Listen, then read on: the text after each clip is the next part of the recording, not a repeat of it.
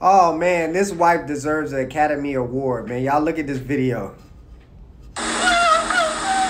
It's a great performance. A newlywed in tears after being told her husband has just been found murdered.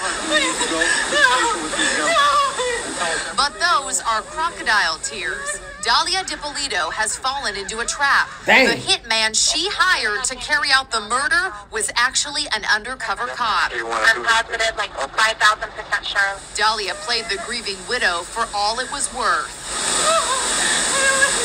And there was more play acting at the police station. Even at the moment, cops told her the ruse is up. You're going to jail today. Your husband is well and alive. Thank God. Oh, yeah, I'm glad. Yeah, you never want to see you. I was impressed with her lying skills. I mean, but I just you can't believe when you watch it.